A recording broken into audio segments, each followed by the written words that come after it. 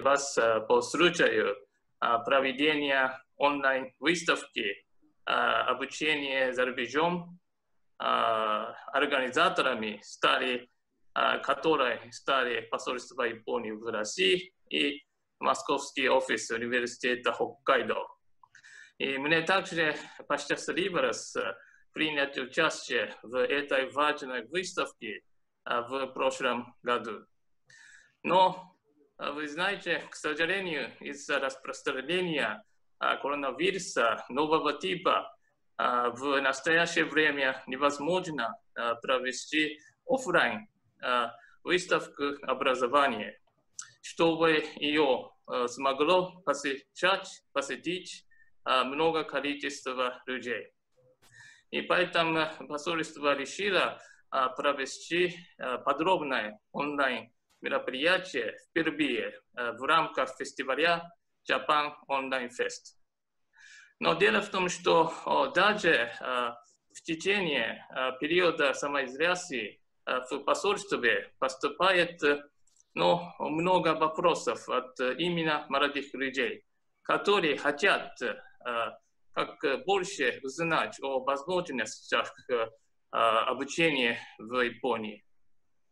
И мне кажется, это очень важно, поскольку эти молодые люди не будут, как сказать, пессимистичными, но наоборот, они подумают о, о этом периоде как времени, возможности.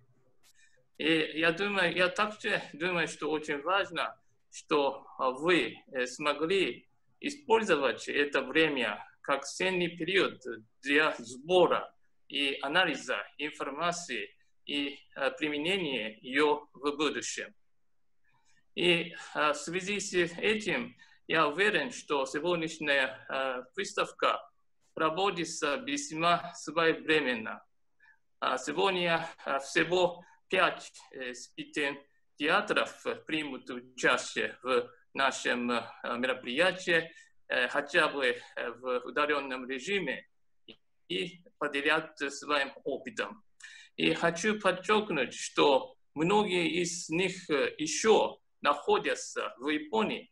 То есть впервые у нас появилась возможность услышать живой рассказ о жизни в Японии, то есть получить информацию о живом опыте.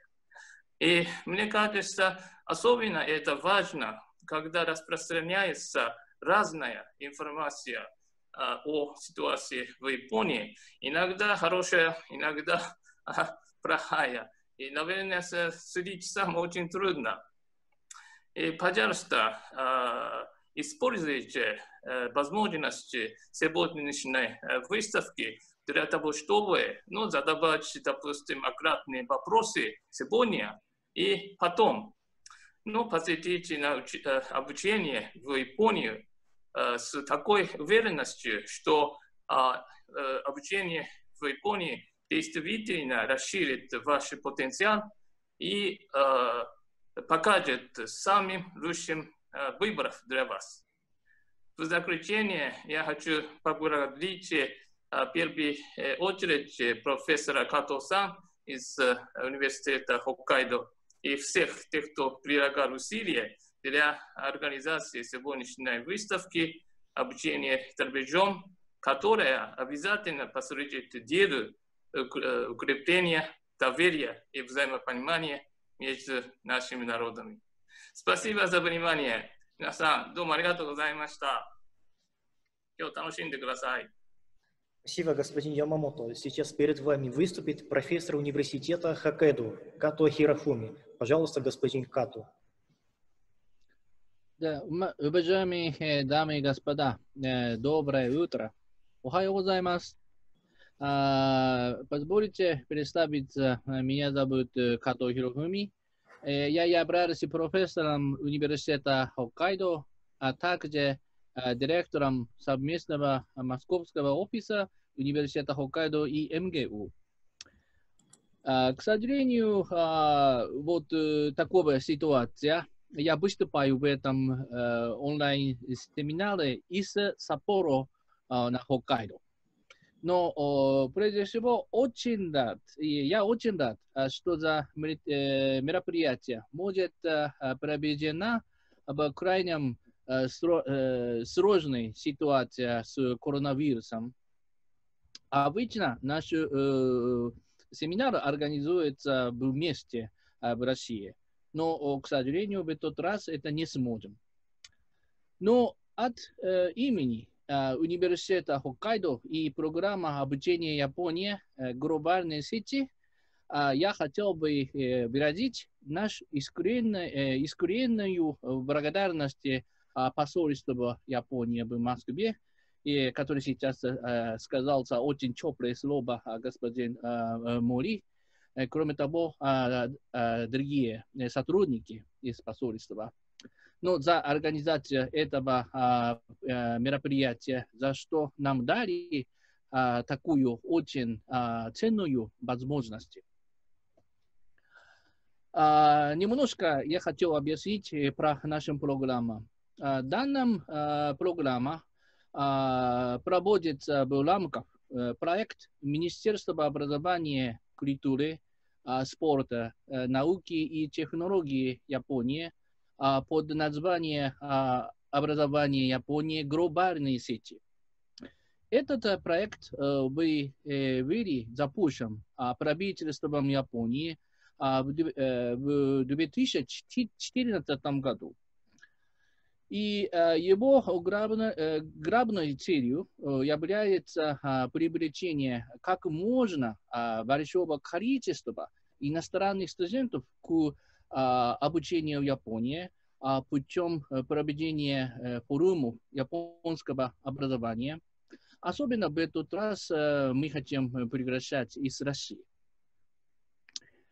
А, Еще главной целью проведения данного форума является предоставление старшим школьникам и студентам в России. А, мы а, хотим дать эту информацию а, касательно возможности обучения в разных учебных э, э, заведениях Японии. Данная информация будет включать, включаться в себе ознакомление не только с программами обучения в каждом конкретном из предоставленных сегодня э, заведений, но также и вообще заведения относительно стипендии тоже, а, которые э, предоставляются а, правительством Японии особо перспективным студенты, студентам. А кроме того, а, сегодня студенты, э, которые уже э, прошли обучение Японии или кто уже учился в Японии, они рассказывают и объясняют свои впечатления о жизни и учеба в Японии. А, мы будем искренне рады принять российскую молодежь на обучение, обучение в Японии и сделать все от нас зависит, чтобы вашем обучении в Японии стало не только хорошей стороной вашего будущих карьеров, а, но также и, и возможность э, познакомиться с японским образованием жизни и истории и культуры нашей страны Японии. Ну, я а, вот окончательно, я хотел сказать, что а, надеюсь, что сегодняшний форум а, мероприятие и поможет вам а, составить представление о возможности Японии. Спасибо за внимание. Спасибо большое, Като Сенсей. А теперь вашему вниманию предлагается презентация преподавателя университета Хоккайдо Такуда Юкака. Пожалуйста, госпожа Такуда. Здравствуйте. Меня зовут Юка Токуда из университета Хоккайдо. Сегодня я представляю вам э, проект Study in Japan. Цель данного проекта уже профессор Като немножко рассказал. Так что я сегодня хотела бы рассказать эм, об основной информации относительно образования, обучения в Японии. И вот Это темы сегодняшней презентации. А почему же именно Япония? На этом слайде вы можете увидеть данные о количестве иностранных студентов, обучающихся в Японии. В Японии около 300 тысяч иностранных студентов, а из России всего 771 человек. А мы бы хотели, чтобы студенты из России было больше. В Японии очень большое количество учебных заведений, предоставляющих высшее и среднее специальное образование. А мы уверены, что вы сможете найти учебные заведения, которые со со соответствуют вашим интересам и э, карьерном плане. А, еще раз, в чем же преимущество в обучении в Японии? Первое и очень важная причина – широкий выбор различных сфер образования. Вторая причина заключается, что в последние пять лет японские ученые получают Нобелевские премии в разных областях науки. Итак, э, профессор Йошино в прошлом году получил Нобелевскую премию по химии. Изобретенные им батареи, используемые э, в мобильных а, устройствах, они изменили нашу жизнь. Так что а, таким образом в Японии вы можете изучать самые передовые технологии и научные разработки. Третья причина – Япония является одной из самых безопасных стран в мире и активно держит курс на интер, э, интернационализацию. И также японское э, правительство поощряет иностранных студентов оставаться в Японии и искать здесь работу после обучения. Еще один очень важный фактор – это увеличение количества программ на английском языке, позволяющие получить ученую степень э, и настоящий, э, в настоящее время таких курсов более 9, 900. Да. На сайте JASO, это Ассоциация э, поддержки иностранных студентов, вы можете найти полный список данных курсов и университетов, в которых они преподаются.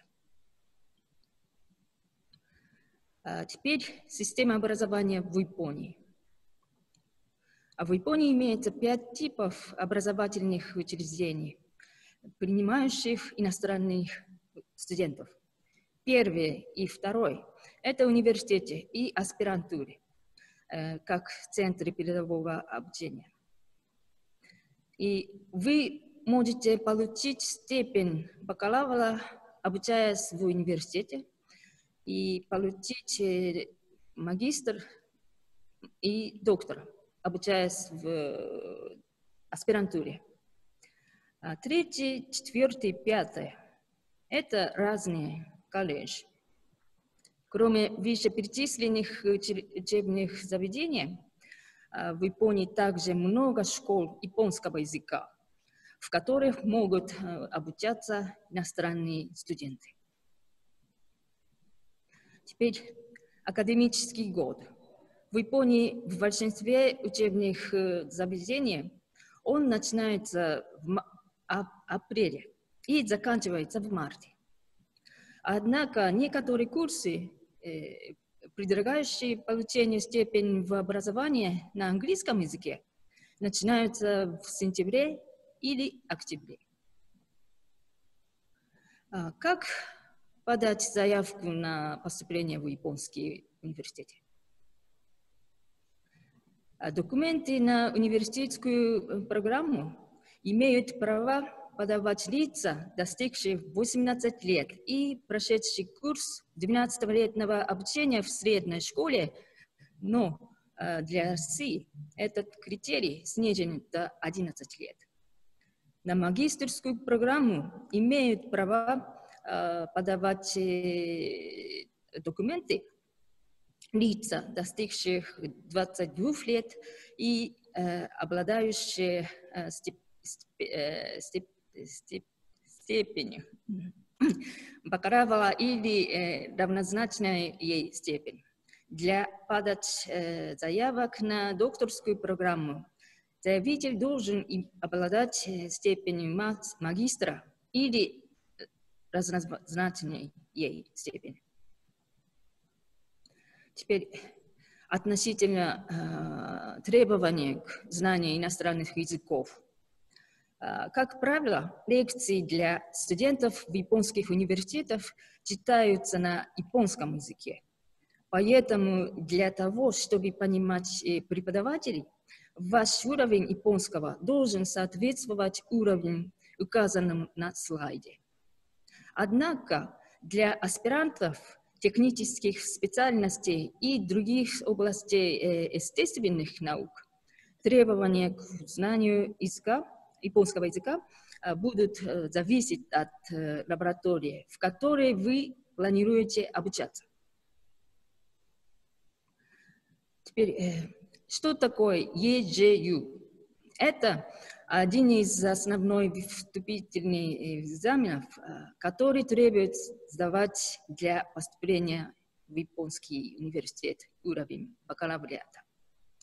98% государственных японских университетов требуют от иностранных студентов сдать этого экзамена. Э, более подробную информацию о EJU вы можете получить на сайте DIASO. А если вы подаете э, документы на курс, который читается на английском языке, а, ваше знание должен соответствовать уровень, указанному на слайде.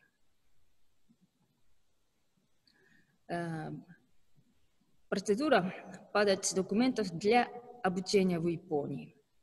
Первый. Так.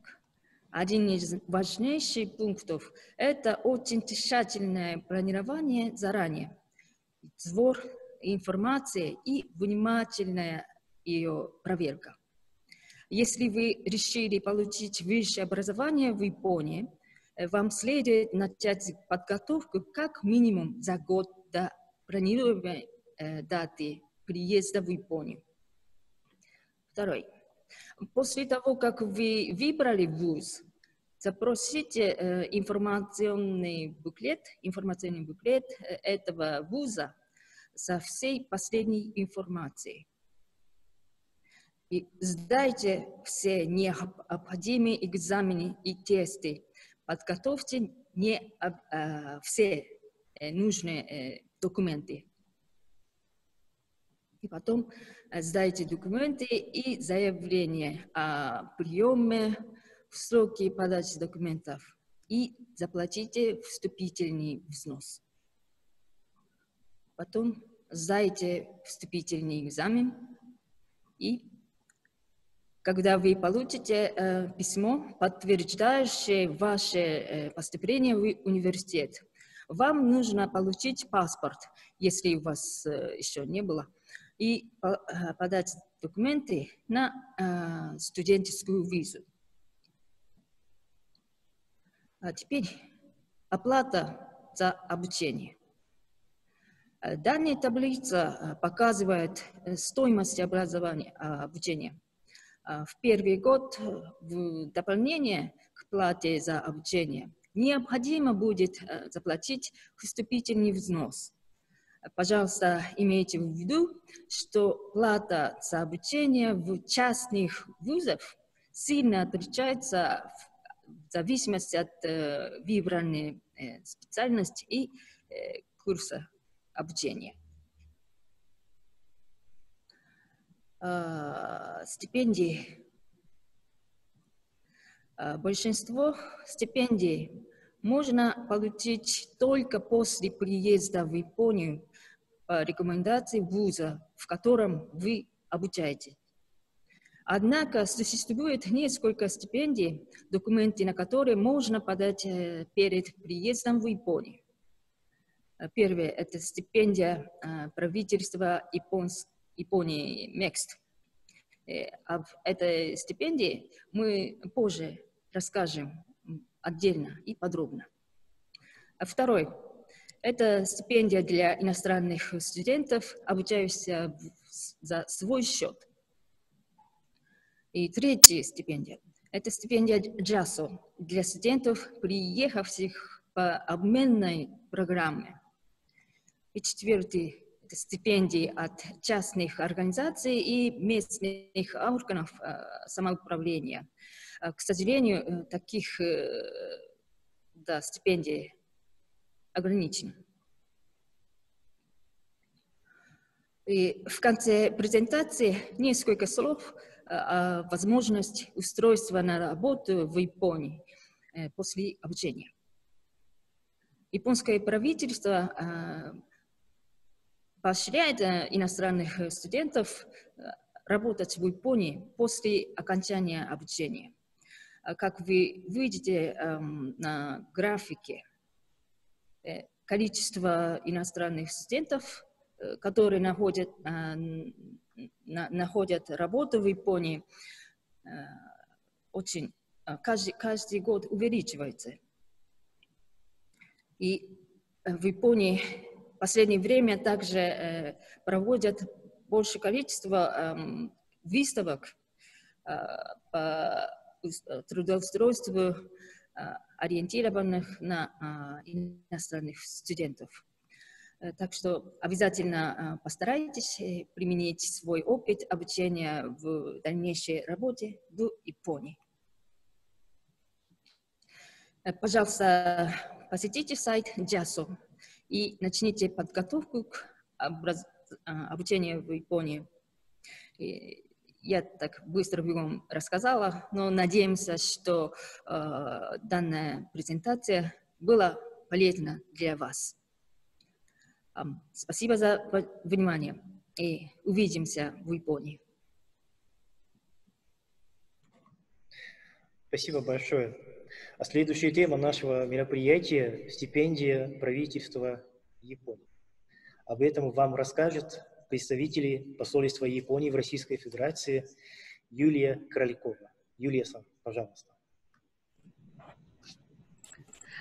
добрый день. Меня зовут Юлия Королькова. Я работаю в информационном отделе посольства Японии, одним из направлений работы которого является проведение конкурсного отбора по стипендиальным программам а, правительства Японии и сопровождение кандидатов на всех этапах а, процедуры конкурса. Прежде всего хотелось бы отметить, что в моей презентации а, речь пойдет о программах, которые курирует посольство, в то время как а, сейчас существует довольно много возможностей обучения в Японии как за свой счет, так и по различным программам и грантам. Эту информацию вы можете найти на сайтах, например, сайт Министерства образования Японии, сайте Ассоциации поддержки иностранных студентов JASO, а, проект, сайте проекта Study in Japan. Сегодня Токуда-сан рассказывала уже об этих возможностях. Э, я расскажу именно о стипендиальных программах, конкурс по которым осуществляет посольство Японии. Э, став стипендиатом правительства Японии, участник э, получает возможность бесплатного обучения и получения ежемесячной стипендии, которая варьируется в зависимости от программы. У нас есть четыре основные программы –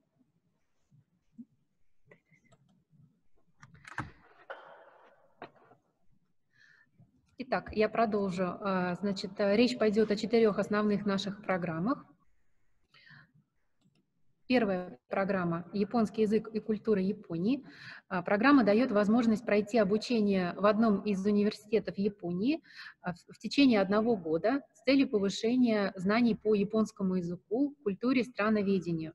Необходимое и одно из главных условий а, участия в этой программе – кандидат должен являться студентом вуза и специализироваться на изучении предметов, связанных с изучением японского языка и культуры Японии.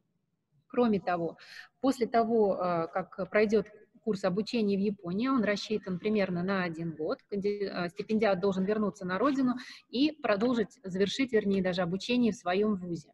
Поэтому в программе не могут участвовать а, кандидаты, которые обучаются на последнем курсе, а также студенты, которые проучились менее одного года.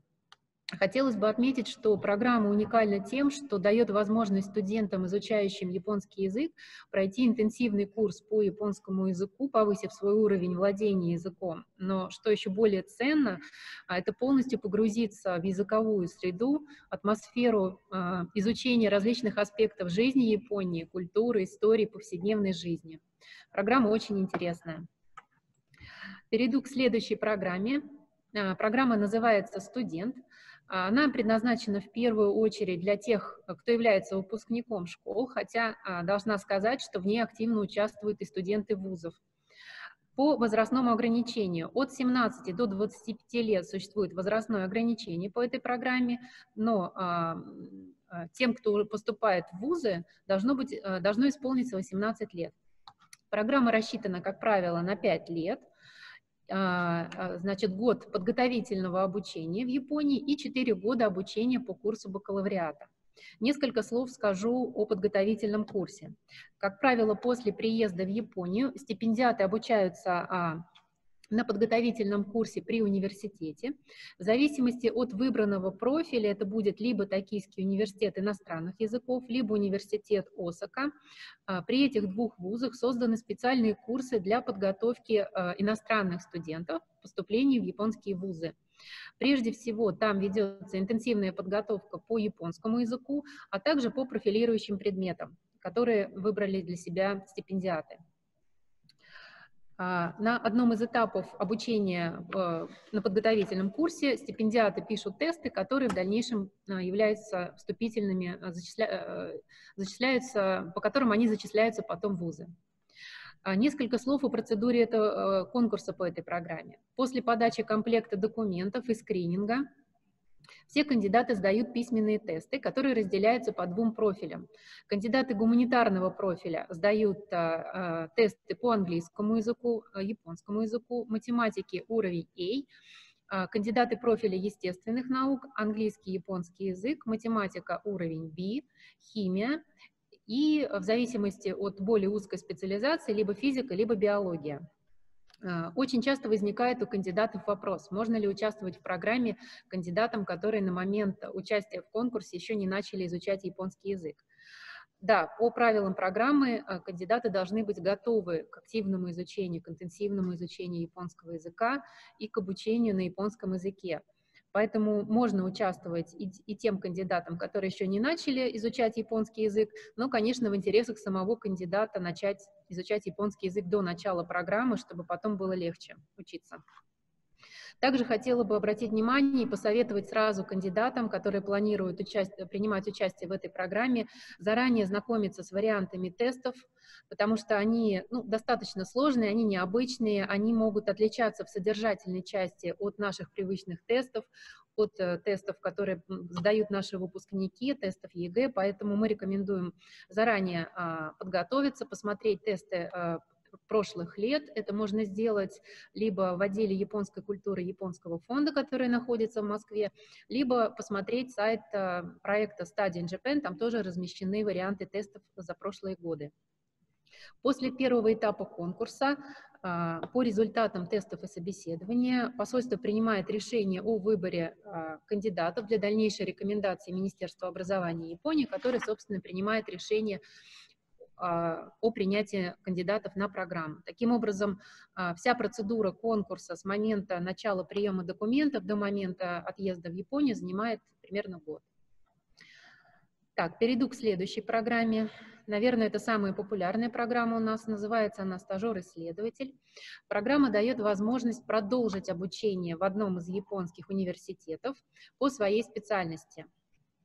Круг специальности не, практически не ограничен, но есть важный момент – а, область исследования должна соответствовать основной специализации кандидата.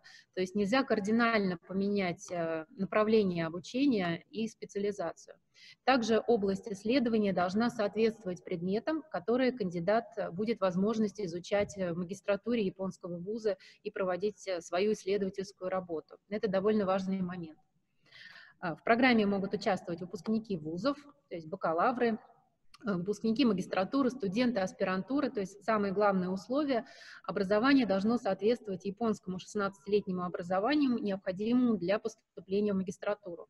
Сделаю еще сразу акцент э, по поводу 16-летнего образования. Часто возникает вопрос, э, что делать кандидатам зачастую по нашему российскому образованию. У нас получается 15 лет, 11 лет школьного образования, 4 года обучение по курсу бакалавра. Ничего страшного, а, с таким образованием участвовать можно.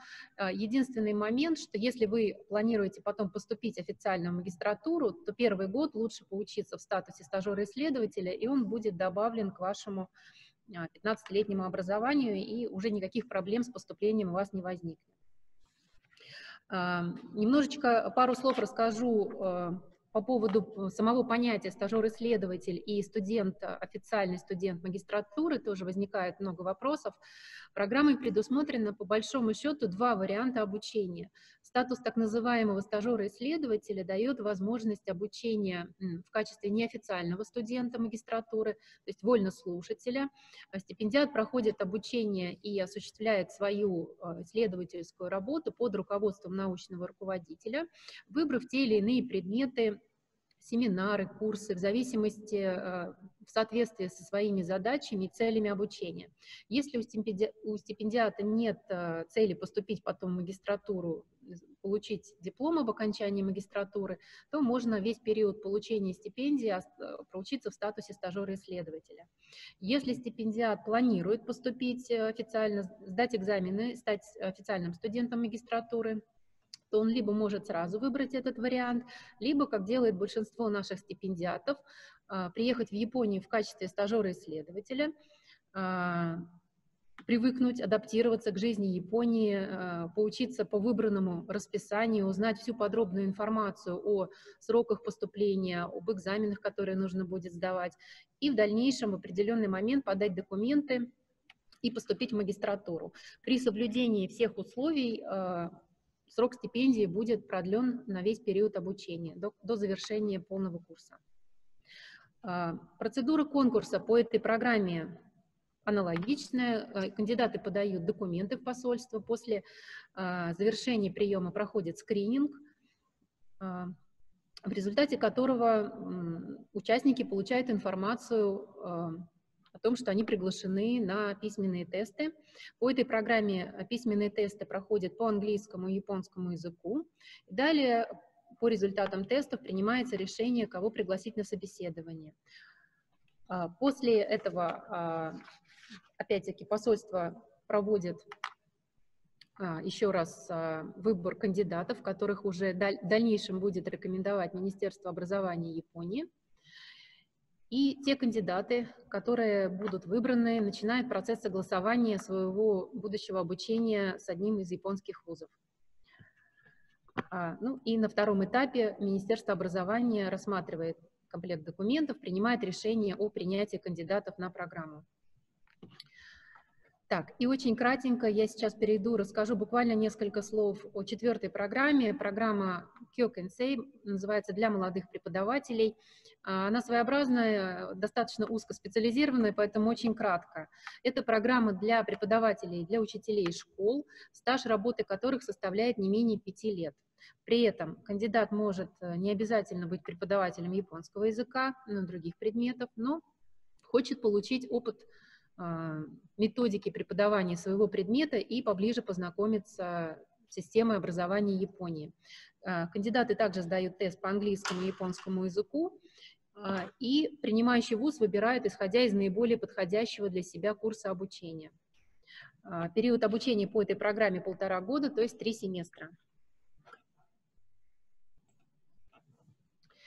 В принципе, э, критерии отбора по всем программам выглядят практически одинаково. Подача документов, скрининг документов, письменные тесты, собеседование с кандидатами, которые успешно прошли экзамены. Важный момент касательно сроков подачи документов и дат проведения экзамена. В зависимости от региона проживания кандидатов, э, Документы можно подать либо в посольство Японии в Москве, если кандидат проживает на территории, которая относится к посольству, либо в генеральных консульствах по месту жительства. Расписание может немножечко отличаться, поэтому я рекомендую а, обязательно уточнять информацию в дипмиссии по месту вашего жительства. А, в настоящий момент у нас идет прием документов по двум программам. Это программа «Студент» и программа «Стажер-исследователь». А, практически все дипмиссии, вот за исключением Владивостока, они чуть раньше закончат принимать документы. Все остальные до 14 августа принимают документы и две программы «Японский язык и культура» и программа для молодых преподавателей. Набор по ним проходит у нас зимой. А, к сожалению, очень кратко пришлось рассказывать сегодня а, о наших программах, но а, хотела бы порекомендовать всем, кто интересуется, зайти на сайт посольства Японии. Здесь вы видите ссылочку на наш сайт. Вся подробная информация об этих программах, о которых сегодня я рассказывала. Плюс бланки необходимых документов, которые нужно будет заполнить. Размещена на сайте посольства в разделе «Образование».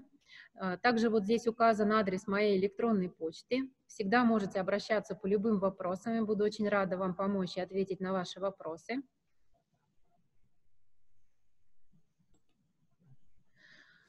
И в завершении я хотела бы поблагодарить вас за внимание. Мы будем очень рады видеть э, новых участников. Хочу сказать, что все возможно, все доступно. Получить э, стипендию правительства Японии – это абсолютно реально. Все зависит только от вас. Поэтому я желаю всем нашим будущим участникам удачи. И по всем вопросам, касающимся э, участия в программах, можете смело обращаться в наш отдел. И всегда буду рада помочь вам ответить на все ваши вопросы. Большое спасибо.